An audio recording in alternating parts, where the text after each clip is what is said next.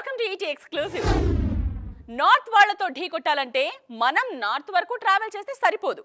ఉత్తరాది వాళ్ళు ఫాలో అయ్యే ట్రిక్స్ అన్ని తెలుసుకోవాలి. కొన్నిసార్లు వాళ్ళను మించి స్పీడ్ ప్రదర్శించాలి. ఇన్నాళ్ళకు ఆ కిటుకు తెలుసుకుంటోంది సౌత్ ఇండస్ట్రీ నార్త్తో కంపేర్ చేస్తే ఇంకో గేర్ ఎక్స్ట్రాగా వేసి మరీ రైమంటోంది నార్త్ సినిమాలు వేల కోట్లు కొట్టడానికి మెయిన్ రీజన్ ఏంటి?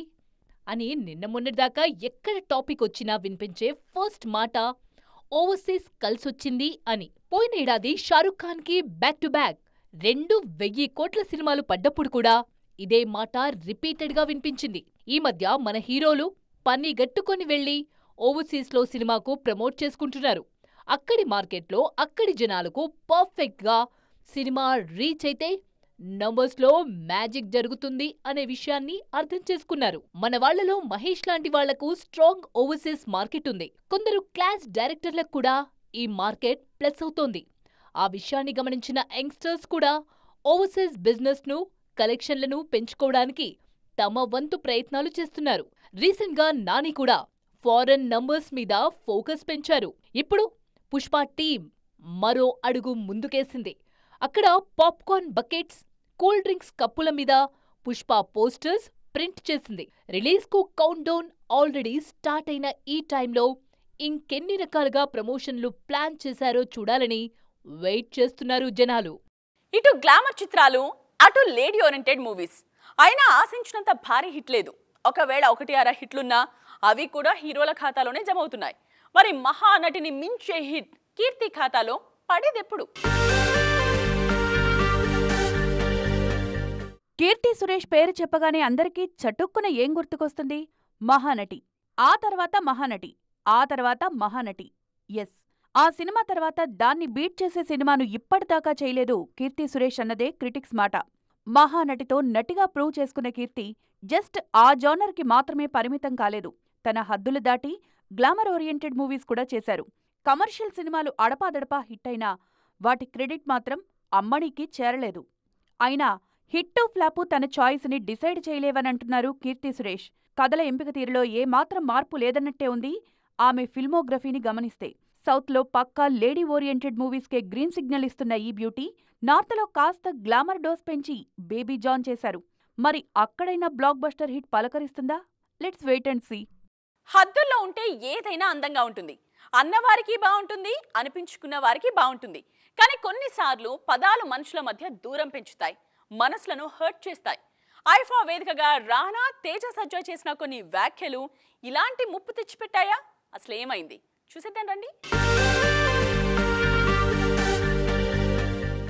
ఈ ఏడాది బచ్చన్ హైయెస్ట్ హై చూశారు లోయెస్ట్లో చూశారు అంటూ ఐఫా వేదిక మీద చేసిన కామెంట్ వివాదానికి దారితీసింది హైయెస్ట్ హైగా కల్కి గురించి చెప్తే లోయెస్ట్ లోగా మిస్టర్ బచ్చన్ని రెఫర్ చేశారు హోస్ట్స్. దాంతో ట్విట్టర్లో ఫైర్ మొదలైంది. అలా ఎలా అంటారంటూ మాస్ మహారాజ్ ఫ్యాన్స్ మండిపడుతున్నారు. అనుకోని తమ్ముడు ఎన్నో విన్నావు. అందులో ఇదోటి అన్ని రోజులు ఒకేలా ఉండవు. నాకైనా ఎవరికైనా అంటూ హరీష్ శంకర్ ఒపీనియన్ షేర్ చేశారు. జస్ట్ మాస్ మహారాజ్ ఫ్యాన్స్ మాత్రమే కాదు ఆ వేదిక మీద సెటైర్లు పడ్డ మిగిలిన సినిమాల హీరోల తాలూకు ఫ్యాన్స్ కూడా ఫైర్ అవుతున్నారు. పుష్ప టూ లేటుగా వస్తోందంటూ తేజ సజ్జా చేసిన వ్యాఖ్యల మీద కూడా గట్టిగానే ఫైర్ అవుతున్నారు పుష్పరాజ్ ఫ్యాన్స్. అదే వేదిక మీద తన హనుమాన్ సినిమా మీద చిన్న మాట పడనివ్వని తేజ పుష్పను మాత్రం అంత మాట ఎలా అనగలిగాడంటూ దుమ్మెత్తిపోస్తున్నారు. మా జనరేషన్లో మంచి నటుడు నాని అంటూ నానిని మెచ్చుకున్న రానాకి సూపర్ స్టార్ మహేష్ మీద సెటైర్లు వేయాల్సిన అవసరమేంటన్నది నెట్టింట్లో జరుగుతున్న డిస్కషన్. తమ మీద తాము జోక్స్ వేసుకుని నవ్వుకునే సంస్కృతి నార్త్ వాళ్ళకుంటే ఉండొచ్చు. సౌత్లో సెన్సిబిలిటీస్ ఎక్కువ.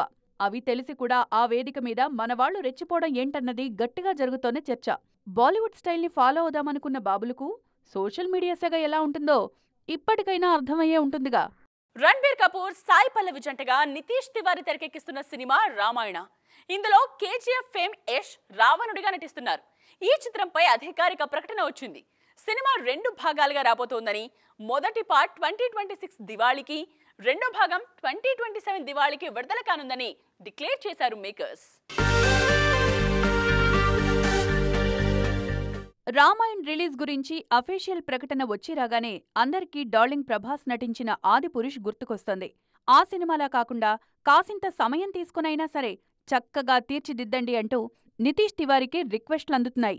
సాయి పల్లవి లాంటి ఆర్టిస్ట్ సీతమ్మ తల్లిగా చేస్తున్నప్పుడు అవకాశాన్ని చక్కగా వినియోగించుకోవాలి అన్నది ఆడియన్స్ నుంచి మేకర్స్ కందుతోన్న విన్నపం. బ్రహ్మాస్త్రలో కాసింత ఫ్యాంటసీ మిక్స్ అయి ఉంటుంది. అందులో గట్టిగానే ప్రూవ్ చేసుకున్నారు రణబీర్ కపూర్. రీసెంట్గా యానిమల్ చేసిన ఆయన మర్యాద పురుషోత్తముడుగా రామాయణంలో ఎలా మెప్పిస్తారో చూడాలి అన్నది జనాల్లో పెరుగుతోన్న ఆసక్తి. ఇటు కేజీఎఫ్ స్టార్ యష్ రావణాసురుడిగా దుమ్ము లేపుతారనే ధీమా కనిపిస్తోంది ఫ్యాన్స్లో. రామాయణాన్ని జనాల మనసులకు దగ్గరగా తీస్తేనే తాను భాగమవుతానని కండిషన్ పెట్టి మరీ సినిమాల్లో ఇన్వాల్వ్ అయ్యారు యష్. రెండు పార్ట్స్గా వచ్చే రామాయణంతో తన ఫ్యాన్స్ ఖచ్చితంగా పండగ చేసుకుంటారనే భరోసా కనిపిస్తోంది కేజీఎఫ్ స్టార్లో. నల్ల సముద్రం. ఈ పేరెప్పుడైనా విన్నారా? ఎర్ర సముద్రం తెలుసు మహాసముద్రం తెలుసు. ఈ నల్ల సముద్రం ఏంటబ్బా అనుకుంటున్నారు కదా? ఇండస్ట్రీలో ఓ న్యూస్ సర్క్యులేట్ అవుతోంది ఇప్పుడు. అది నిజమే అయితే గనక ఇకపై నల్ల సముద్రం అనే మాట చాలాసార్లు వింటారు. ఎందుకీ? ఈ బ్లాక్ సీ బ్యాక్ స్టోరీ ఏంటో చూద్దామా? జూనియర్ ఎన్టీఆర్ ప్రస్తుతం వార్ టూతో బిజీగా ఉన్నారు. అదేంటి? యాంకర్ నల్ల సముద్రం అని చెప్పింది? ఇక్కడేమో ఎన్టీఆర్ వార్ టూ అంటున్నారు అనుకుంటున్నారా? ఇక్కడే ఉంది అసలు కథ. ఈ మధ్య ఎన్టీఆర్కి సముద్రం బాగా కలిసొస్తోంది. దేవరలో ఎర్ర సముద్రం పాపులర్ అయింది. ఇందులో సముద్రాన్ని క్రియేట్ చేయడం కోసం హాలీవుడ్ టీం పనిచేశారు. దేవర కథలో సముద్రం కీలక పాత్ర పోషించింది. దీని తరువాత ప్రశాంత్ నీల్ సినిమాతో బిజీ కాబోతున్నారు తారక్. ఆసక్తికరమైన విషయం ఏంటంటే నీల్ ఎన్టీఆర్ సినిమాలోనూ సముద్రం ఉండబోతోంది. ఈ సినిమాలో మేజర్ యాక్షన్ బ్యాక్డ్రాప్ నల్ల సముద్రం దగ్గరే షూట్ చేయబోతున్నారని తెలుస్తోంది. ఇది బల్గేరియా జార్జియా రష్యా లాంటి దేశాలు సరిహద్దులుగా ఈ బ్లాక్ సీ ఉంది. కేజీఎఫ్ సలార్కి భిన్నంగా ఎన్టీఆర్ సినిమా కథ ఉండబోతుందని తెలుస్తోంది. యాక్షన్ పార్ట్తో పాటు ఎమోషనల్ కంటెంట్ హెవీగా ఉండబోతుందని రెండు భాగాలుగా ఈ సినిమా రానుందని ప్రచారం జరుగుతోంది. నల్ల సముద్రం సీన్స్ కూడా అద్భుతంగా ఉంటాయని టాక్ వినిపిస్తోంది. మార్చి రెండు వేల ఇరవై ఐదు నుంచి ఎన్టీఆర్ ఈ చిత్రంలో జాయిన్ కాబోతున్నారు. రెండు వేల ఇరవై ఆరులో విడుదల కానుంది ఈ చిత్రం. నేనంటూ ఏదైనా చేస్తే నాలాగా ఇంకెవరూ చేయకూడదు అని గట్టిగా ఫిక్స్ అయినట్టున్నారు శామ్. అందుకే ఆమె ఏం చేసినా యూనిక్గా ఉండేలా ప్లాన్ చేసుకుంటున్నారు. ఇంతకీ శామ్ ఇప్పుడు అంతలో ఏం చేస్తున్నారు? చేయాల్సిన అవసరం ఏమొచ్చింది? ఫ్యామిలీ మ్యాన్ టూలో శామ్ యాక్ట్ చేసినప్పుడు వారేవా ఏం పర్ఫార్మెన్స్ అని అంతా నోరెళ్ళబెట్టారు డిజిటల్లో ఆ రేంజ్లో దుమ్ము రేపారు శామ్. ఇప్పుడు రాజన్ డీకేతో ఆమె సిటాడిల్ చేశారు. ఓటీటీలో రిలీజ్కి రెడీ అంటున్న సిటాడిల్ ప్రమోషన్స్ విషయంలో తగ్గేదేలే అంటున్నారు శామ్. సిటాడిల్ ప్రమోషన్స్లో భాగంగా వరుణ్ ధావన్తో కలిసి హాట్ హాట్ ఫోటోలకి పోజులిచ్చారు ఈ బ్యూటీ. ఈ ఫోటోలు ఇన్స్టెంట్గా వైరల్ అవుతున్నాయి. అసలే బాలీవుడ్ మీద ఫోకస్ చేస్తున్నప్పుడు ఈ మాత్రం గ్లామర్ షో తప్పదులే అంటున్నారు ముంబై వాలాస్. అప్పట్లో ఫ్యామిలీ మ్యాన్ టూ క్లిక్ అయినట్టుగానే ఇప్పుడు సిటాడిల్ హిట్ కావాలి. అంతేకాదు ఆల్రెడీ ఇదే థీమ్తో చేసిన ప్రియాంక చోప్రాని మ్యాచ్ చేయగలగాలి. అప్పుడే బాలీవుడ్లో మరింత బజ్ ఫేమ్ వస్తుందన్న విషయం శామ్కి బాగా తెలుసు. అందుకే సిటాడెల్ విషయంలో ఎక్కడా రాజీ పడదలుచుకోలేదు ఈ బ్యూటీ. ఇది వాటి ఎక్స్క్లూజివ్. మరిన్ని ఇంట్రెస్టింగ్ అండ్ ట్రెండింగ్ అప్డేట్స్తో మళ్ళీ కలుద్దాం. This is Netra signing off